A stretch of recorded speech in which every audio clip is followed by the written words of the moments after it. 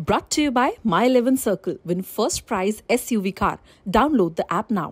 बजरंग बहुत बड़ा फैसला आपने लिया यहाँ पर आकर सबको मालूम है कि एक खिलाड़ी जिसके साथ अनुशासन का एक शब्द जोड़ दिया जाता है ताकि वो गलत को भी गलत ना कह सके बहुत हिम्मत की ज़रूरत है बिल्कुल हिम्मत दिखाने के लिए यहाँ पे आए हैं और जो मैं मुझे आप लोगों के माध्यम से पता चला कि अ, अ, हमारे जो प्रेसिडेंट है वो बोल रहे कि अभी ये तो तीन ही परसेंट है सत्तानवे परसेंट तो मेरे साथ है तो हम अ, हम चाहते थे कि भाई हम सभी बच्चों को यहाँ पे ना लेके आए क्योंकि उनकी ट्रेनिंग ख़राब होगी।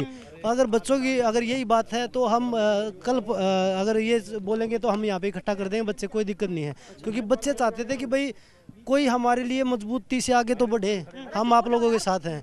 मेरे पास कोई दो सौ ढाई सौ लोगों के फ़ोन आ गए कि हमें क्यों नहीं बताया? हम भी आपके साथ चलते। अच्छा। जो अखाड़े चलाते हैं। तो ऐसा नहीं है कि हमारे धमकियाँ मिल रही हैं दबाव बनाया जा रहा है। देखिए मेरे पास तो अभी तक किसी का कॉल आया नहीं है कि पर देखिए बिल्कुल बिल्कुल आप आप सुनेंगे तभी बोलूँगा। जो हाई कोर्ट के आदेश है कि रात को आप धरना प्रदर्शन पे नहीं रह सकते तो हम कोई भी कानून का ऐसा उल्लंघन नहीं करेंगे जिससे हमें लोगों की आलोचना सुननी पड़े। हम जो सुबह दस बजे आप लोगों को यहीं मिलेंगे और हम, हमारा प्रोटेस्ट जारी रहेगा और हम जो लड़ाई लड़ने के लिए आए क्योंकि हम अपने खेल को बचाने के लिए आए हैं। आप लोग धरना आज का खत्म कर रहे आज का धरना आप खत्म कर रहे जी हाँ जी।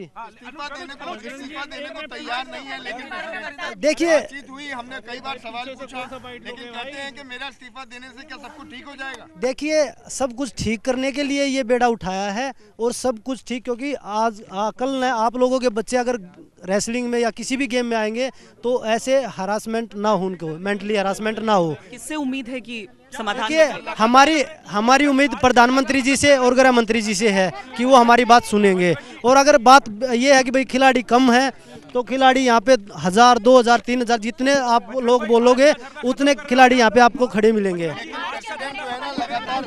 देखिए मैंने आपको बताया है लगातार मैंने आपको बताया है कि जो कानूनी जो रूल हैं हम उनको फॉलो करेंगे हम कोई वायलेंस नहीं करेंगे हम अपनी मांग जो यहाँ पे है वो रखी हैं और जो जो हाई कोर्ट के जो निर्देश हैं उनको हम उनका हम पालन करेंगे। तो ऐसी कोई चीज़ नहीं करेंगे। हम कल कल सुबह दस बजे हम आप लोगों को यही मिलेंगे। लगातार मंत्री प्रेसिडेंट जो है वो कह रहे हैं कि हम इस्तीफा नहीं देंगे और जो एलिगेशन है वो बेसलेस एलिगेशन है। चलो देखिए देखिए आप लोगों को देखिए लड़कियों ने जो जो बात बोली है मीडिया के सामने तो वो बहुत बड़ी बात है। और कोई अपनी इज़्ज़त के साथ नहीं खेलता। कोई अपनी इज़्ज़त के साथ नहीं खेलता। उन्होंने उनके साथ कुछ घटित हुआ इसलिए उन्होंने बोला है। और चलो ये बात है तो आगे भाई जो लड़कियाँ हैं वो बताएँगे कि भाई हमारे साथ हुआ है। वो कहते हैं कि नाम लीजिए ना हैं कि कोई भी देखिए देखिए। हैं। देखिए करेंगे जो सेक्सुअल हैरेसमेंट के देखिए उसके उस पर मामला दर्ज कराएँगे क्या? देखिए आप बोलने का मौका देंगे तभी तो बोलेंगे ना पर जो चीज़ें हैं वो नाम हम सामने इसलिए नहीं लेना चाहते आपके क्योंकि हमारी खुद की भी रिस्पेक्ट है इज़्ज़त है। क्योंकि एक लड़की की अगर इज़्ज़त ही नहीं रहेगी तो फिर क्या फ़ायदा समाज में जीने का? ने कहा कि आरोप सही हुए तो फांसी पे लटक जाऊँगा। चलो वो चीज़ें अगर लड़कियों ने बताई है तो वो आपके सामने भी आएँगी वो चीज़ें उस चीज़ का वो नहीं है।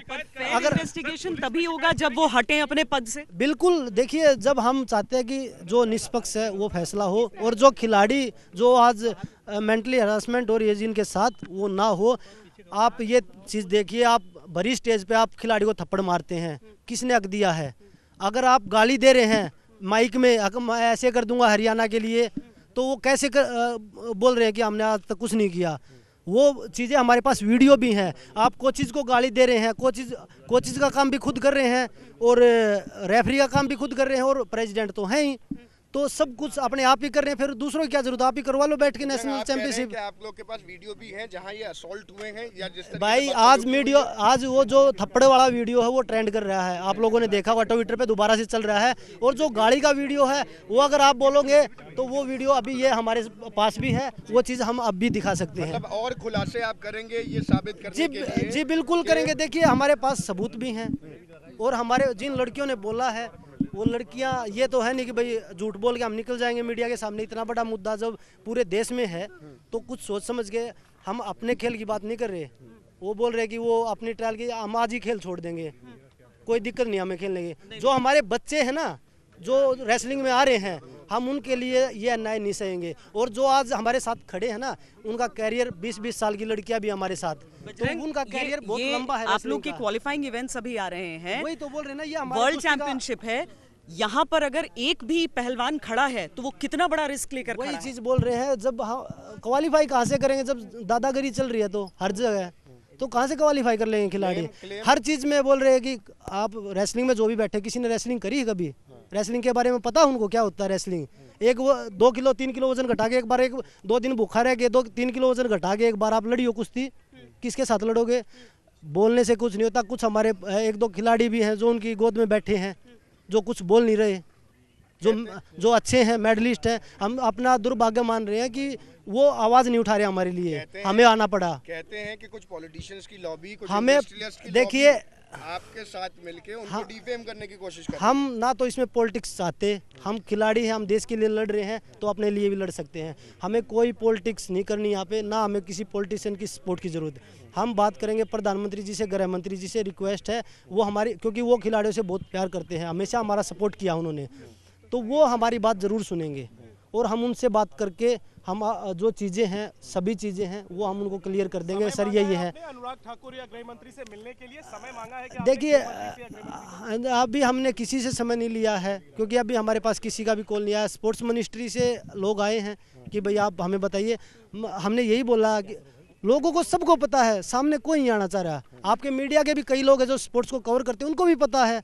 पर वो इसलिए नहीं बोल रहे क्योंकि उनके पास कुछ है नहीं। सामने कोई आना नहीं चाह रहा क्योंकि भाई सब अपने विनेश को आप जान से मारने की धमकी मिली। विनेश ने बताया कि मेरे को जान से मारने की धमकी कि भाई आपको मरवा देगा। तो ये बात छोटी नहीं तो जो खिलाड़ी जो बड़े खिलाड़ी वही सामने नहीं आ रहे तो छोटे खिलाड़ी कैसे आ जाएँगे? तो अब कल 10 बजे आप वापस यहीं पे और खिलाड़ी भी देखिए खिलाड़ी हम इसलिए नहीं चाहते क्योंकि हम सिर्फ़ शांति चाहते हैं।